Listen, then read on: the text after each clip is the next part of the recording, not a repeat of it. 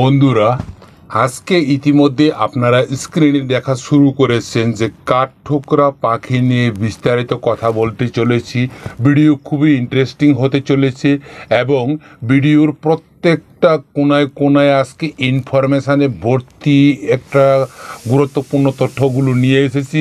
সেই রকম কিন্তু আপনি ভালো করে যদি মনোযোগ দিয়ে লক্ষ্য করেন, তাহলে আপনার অনেক গুরুত্বপূর্ণ তথ্য সম্পর্কে জানা হয়ে যাবে আজকে।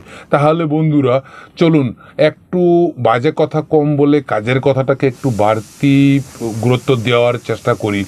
কাঠঠুকরা পাখি জীবন্ত গাছের গুড়িতে গর্ত করে বাসা করে। সুতরাং সবচেয়ে বাবার বিষয়, ওইটুকু ছোট পাখি অনবরত মুখে ঠুকর দিয়ে, প্রচণ্ড গতিতে গাছে ঠুকর দিয়ে যাচ্ছে, তাতেও ওর কি মুখ ব্যথা হয় না? যে এমন তো নয় যে একদিন সারাক্ষণ ঠুকলো, পরের দিন আর ঠুকেনি, সেটা নয়। প্রায় দিন পনেরো ধরে লাগাতার মুখের সাহায্যে শক্ত গাছের মধ্যে অনবরত ঠুকে যাওয়ার পর সেখানে গর্ত তৈরি করে, সেই গর্তে বাসা তৈরি করে এবং বাচ্চা ডিম ফোটায়। তো ওই রকম কাঠঠোকর প্রচণ্ড শক্তিতে সেই শক্ত গাছে গর্ত করে পাখিটির মাথার খুলি প্রচণ্ড আঘাতের কাঁপুনি সহ্য করার মতো ভাবে তৈরি করা রয়েছে।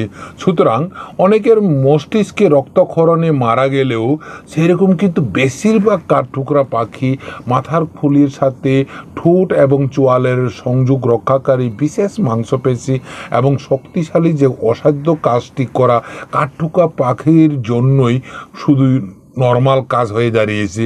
পাইন গাছের মতো শক্ত গাছ খুবই শক্ত হয় এবং পাইন গাছের আয়ু একশো বছর। কাঠঠোকরা পাখিরা এইসব পাকাপুক্ত গাছকেই বেছে নেয়। কাঠঠোকরারা নিজের গর্তে চারিপাশে অনেকগুলো ছোট ছোট ছিদ্র করে রাখে। কালক্রমে পাইন গাছের আঠালো রস এনে মুখগুলো বন্ধ হয়ে যাওয়া হয়। ফলে সাপের আক্রমণ থেকে বাঁচা খুবই সহজ হয়। কারণ কেন? ওই গর্তের আসল যে গর্তের মুখটা, তার পাশে ছোট ছোট গর্তগুলো কিন্তু আঠা দিয়ে বন্ধ থাকে এবং পরবর্তী সময় সেই রকম কোনো বিষধর সাপও যদি গাছ বেয়ে বেয়ে উপরে উঠে তাদের ডিম খাওয়ার চেষ্টা করে সেই ক্ষেত্রে কিন্তু তারা সফলতা করতে পারে না এবং পিসপা হয়ে ফেরত আসতে বাধ্য হয়। সুতরাং বন্ধুরা, আমার এই ভিডিওর ঠিক নিচে ছোট্ট করে দেখুন মোর লেখা আছে এম ও আর ই এই মোর অপশানে টাচ করে আপনারা আমার জীবনে যে দুশো আড়াইশোখানা ভিডিও বানিয়েছি, তার মধ্য থেকে সেরা তিনটে ভিডিওর লিঙ্ক আমি দিয়ে রেখেছি।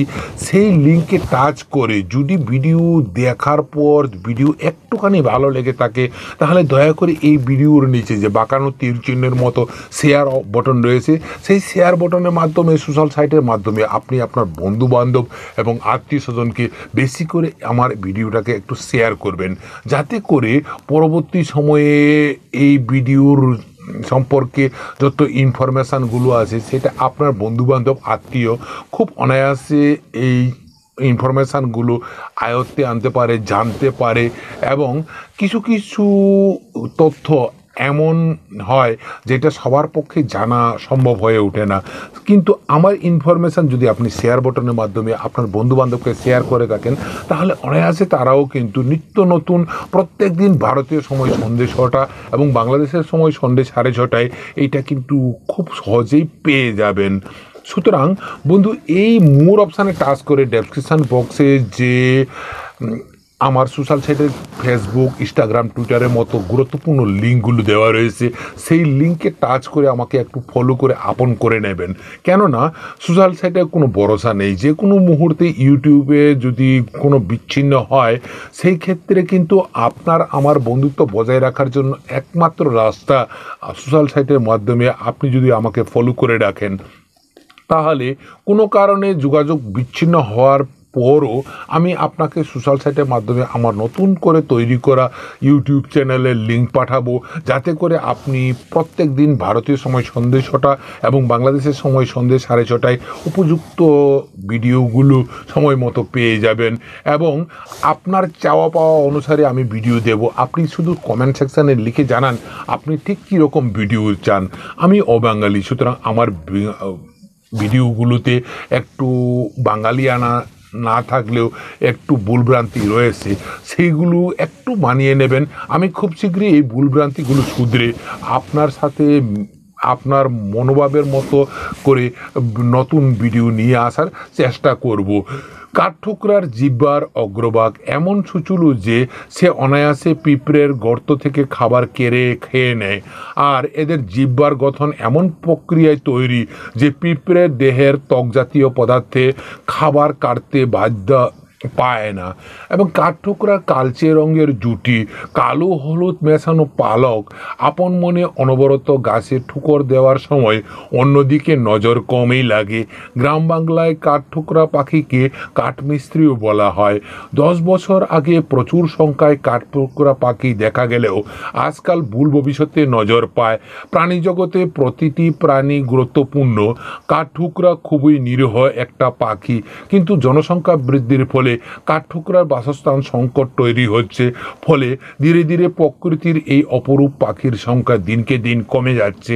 আগের মতো সচরাচর আর এগুলোকে দেখতে না পাওয়ার মূল কারণ এদের বিলুপ্তি ঘটেছে। সুতরাং কিন্তু আজকালও কিন্তু সম্পূর্ণ বিলুপ্ত নয়, কিছু কিছু জায়গায় দেখা যাচ্ছে। সুতরাং তুলনামূলকভাবে প্রায় নব্বই শতাংশ কিন্তু বিলুপ্ত হওয়ার পথে। সুতরাং দশ পার্সেন্ট থেকেই বা কী হবে? বন্ধুরা, আপনাদের মতামত ছোট্ট করে কমেন্ট সেকশানে জানাবেন। আপনারা ভবিষ্যতে কী কী রকমের ভিডিও আমার তরফ থেকে চান? এবং আপনি যদি আমার চ্যানেলে নতুন হয়ে থাকেন, তাহলে দয়া করে এই ভিডিওটা ঠিক নিচে সাবস্ক্রাইব বটন রয়েছে। সেই সাবস্ক্রাইব বটনে টাচ করে পাশের ঘণ্টা চিহ্নটাকেও অল টিপে রাখবেন। যাতে করে প্রত্যেক দিন ভারতীয় সময় সন্ধ্যে ছটা এবং বাংলাদেশের সময় সন্ধ্যে সাড়ে ছটায় নতুন নতুন ভিডিওটা আপনি অনায়াসে কিন্তু পেয়ে যাবেন। সেরকম বন্ধুরা আমাদের নতুন নতুন যে ভিডিও রয়েছে, সেগুলো আসা সময় অবধি আপনি নিজের শরীরের প্রতি একটু মনোযোগ দেবেন। ভালো থাকবেন। জয় হিন্দ, জয় ভারত।